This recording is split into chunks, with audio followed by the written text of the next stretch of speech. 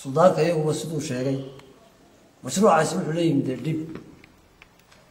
Dhibtaasoo ah macdanta uu qodayo in dadku aqoon lahayn oo wixii lagu baadhiyey macdantaba uu dadkii ka dhigay. Qalabkii macdanta lagu baadhiyeyna dadkii dee jaahiliinta iyo dhulka deganaa u ka dhigay. Laguna dhintay. Marka maadaama dhibtaasi uu la yimiday mashruucaasi dee dad dowladda ka mas'uulkaa dadka ajaanibka ee imanaya meesha dadweynihii markay arkeen dhibtaasi kacdoon baa yimid. Kolkii dhimasha ay timid oo wixii inuu dee mashaakilaadba keenayo oo dadkii dhibaato uu keenayo lagu dhimanayo la arkay dadkii wuu ka kacay. Waxaanan rabnaa dowladdu inay naga laabto mashruuca ninkaana jaynahaana ay ka qaada meesha. Taasi haddii ay dhici weydo dhibaata imanaysa shaqadanina wax soconaya maaha. Cidda danta yaree gaar ahaaneed iyo dhandhamada yare ay qaadanayaan ka raacsan.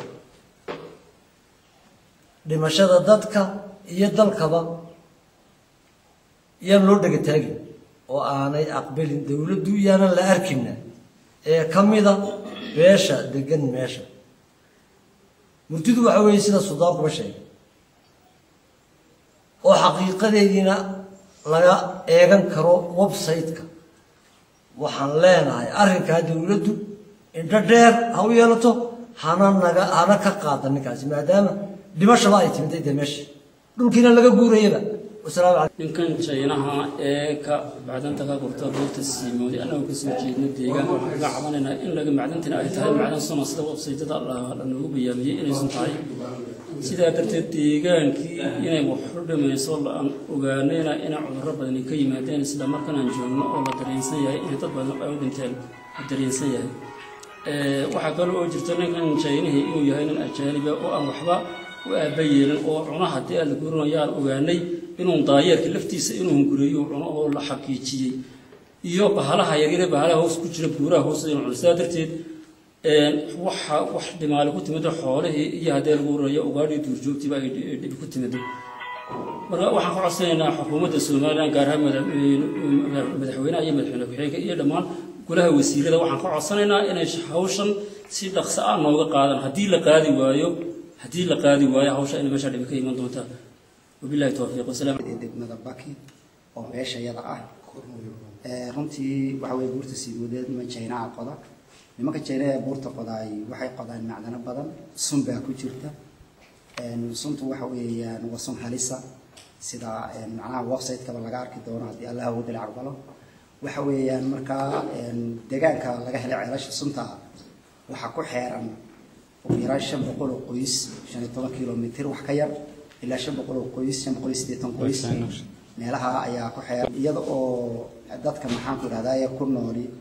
Aanay ka yarayn saddex kun iyo shan boqol ilaa afar kun aanay ka yarayn suntaas oo ah sun dilaaya sida yani laga arki doono qoraalka yani suntan ee website-ka ku jirta.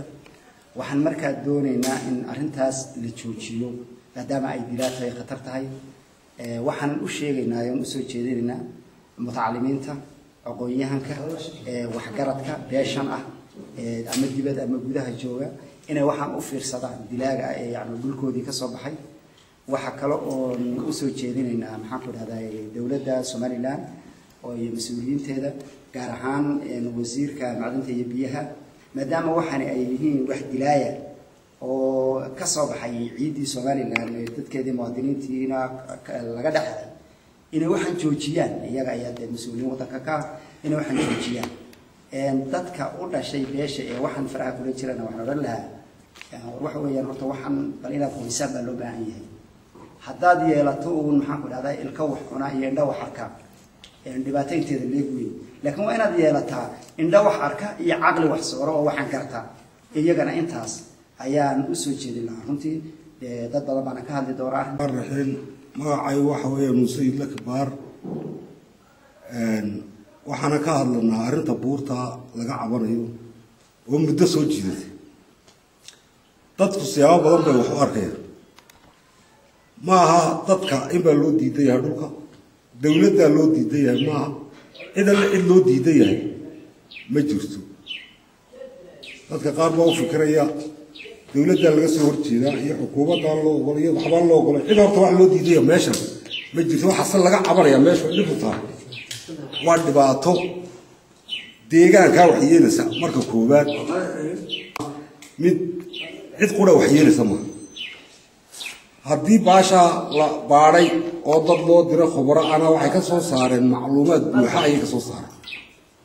Macluumaadkaa buuxa oo qoraal oo buug laga soo sameeyey waan haynaa kaasi waxa waa kaan ka hortegan waxa weeyaan wuxuu dadku waxay dhib weyn dhib weyn bay ku haysaa meeshaas. Somalilan buuna waxaas cawaaqibka wax yeelayaa ma aha. Awdal iyo degaankaa buurta ku kelidii wax yeelaya maaha taasi baan horta ka codsanaynaa dowladda iyo xukuumadda inay wax ka qabato. Cidna annagu siyaasad ahaadna kama hadlano mucaarad ahaadna ma hadlano danta guud ee somalilan baan ka hadlanaa iyo degaanka waa wax la fahmo.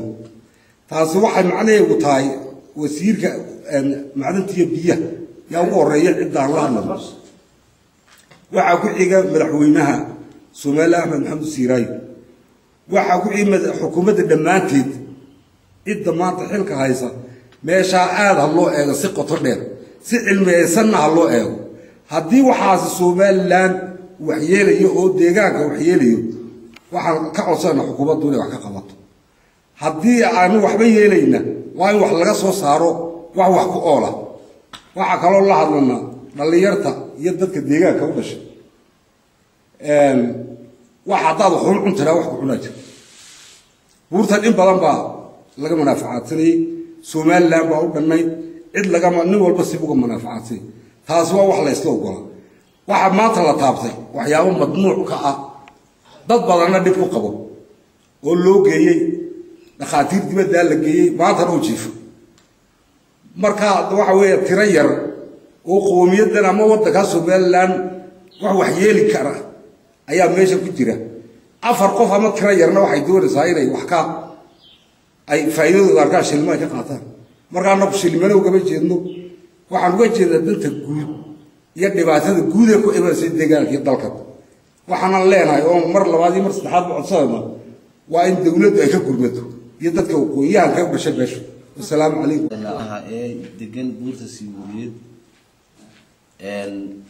waxaa meesha ay ka soo saareen ay ka shaqeeyaan waa sun waxay keeneen warshado lagu farsameeyo. Suntaa way ku istaadheen way ku shaqeeyaan waxa weeyaan suntiina waxay noqotay wax halisa oo adduunyada gebigeedaba ka mamnuuca.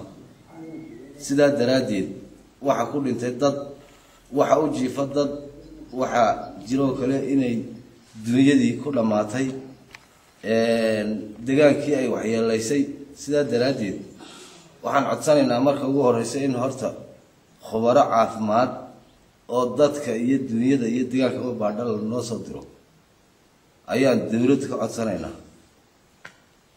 Waxaa labaad oo ka codsanaynaa mashkilad labaad oo aw combanigani u leeyahay baa jirta degaanka oo isagoo dantiisa gaar ahaaneed ka faa'iidaysanaya.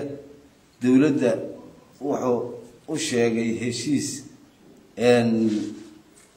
inuu laba dhagax saddex dhagax qaadanayo oo macdanta ka mid ah waxa uu qaataana ay imika tahay laba iyo toban dhagax inta la ogyahay. Oo meesha ka gurto. Waxaasoo dhan si tuugaa iyo qaab inuu dadkii laftii degaanka laftiisa isku dhifdhifta u gaadhay. Isagoo dantiisa gaar ahaaneed uga faa'iidaysanaya. Kanow ha ogaan iyo kanow ha ogaantay waxaasoo dhani dalkii iyo dadkiiba ku dhaafeen. Sidaa daraaddeed waxaan rabnaa taana inay dowladdu ka gurmato oo liisamada ay sheegaysa in waan siinaynaa ay leedahayna. Ya maadaama dhibtaasi ay jirto ay ka joojiso khubaro baadhitaan samaysa oo dabagaadhaysa somaliland udhan gaadhaysa dadkii degaanka haye u dhowaa dee waxa weyan dhibtaasaaba ka jirto anaga hala eegale laakiin kuwa kale degaa somalilandna waa wax ku socda sidaa daraaddeed waxaan doonaynaa in dowlad iyo dadka aqoon-yahanka iyo dadka waxgaradkiiba ay ka gurmadaan arrintaa wax laga qabto. Ya mashruucaasna mid somalilan anfac u leh amba annagaba anfac noole maahine si deg dega la nooga qaado. Ninka jeynaha ee buurta qoda. Iyadoo waxaan ka dacwoonaynay ay macluumaadka la qoray ee la og yahay ee khubaradii laga soo diray kenya oo timiday oo lagu ajburay inay tagaan meesha ay soo baahiyeen. Gacantana lagu hayo qoraalkana aad ka arki doontaan. Taasi iyadoo dhibta oo dhan halkaa laga arki doono oo laga akhrisan doono. Dhibaatadaasi waxa weeyaan meeshan uu qodayo macdan badan buu qodaa laakiin tan iminka uu doonayo waa tasunka ee uu qoto. Marka waxa weeyaan haddii qodid iyo maaragtay iyo ta iminka dul socodka ahee marka daadku soo saaro inta xataa iyadoon qodid badan ba loo geysan daadku soo saaro waxay tegaysaa ilaa badda. Markay halkaa ka qulqulaan ay biyaha durdurka durdurka cad la ku biiraan garbada darbay marayaan gargaaray marayaan tuurkay marayaan waxay marayaan meesha la yidhaho ballay waxay marayaan lughaya waxay marayaan riigga dhammaan markaa waxay tegayaan badda markaan mushkiladda halkaa ka soo socotay waxa weeyaan mushkilad. Anan anan beesha iyada ku tilmaami karayn oo beelaha badan beelaha somalilan oo dhan khusaysa weeye. Kalluunka badda marka biyahaasi galaan oo cuno waa waxyaale yacni la soo daraasadeeyey inay xaaladdu xaalad adag tahay. Iyadoo sidaas waxaan arrinkayga ku socodsiinayaa. Jamhuuriyadda somalilan heer qaran iyo heer gobol iyo heer degmo iyo heer wasiir baan ku socodsiinayaa cabashadayda iyo dacwaddayada waxaanan leeahay waxa weeyaan ninkaasi waxa meesha uu ka qodanayo wax somalilan anfacana maaha wax dadka degaanka anfacana maaha waa wax dhib wata. Intaasoo dhanba waxa weeyaan cabashadayda iyo dacwaddaydu waxay ku socotaa in lanaga joojiyo waxaanan leeahay dadka meesha degan horeba sidii loo sheegay. Beesha ka dhashay ee gacanta kula jira xaaladan inay u turaan ubadkooga iyo carruurtooda iyo shacbiga somalilan dhammaanba inay u turaan oo eegaan. Caaqiba darrada meesha ka soo baxaysa. Dadka beesha ka dhashay ee dabadda ku maqan waxaan u sheegayaa oon la socodsiinayaa inay ku baraarugaan oy eegaan وي أوغادان حالات ميشا كيترتا ويقولوا قفتوا دادان ولي بس أيوة جوابا والسلام عليكم وحالا هاي سيوس الله بعد فور جاي وحاجة عمان أنا مجلس كل ده حبيان إن جينا ها هوش هذاك مش كوا ده يربي تيجي وما ده قولي سكولي بيس كتير وما ده هذا نحنا هذا مش أو زمان لا بحاجة كمان دي لا بحاجة كمان وينا زمان مش كنا يوالو وين دونا والسلام عليكم ورحمة الله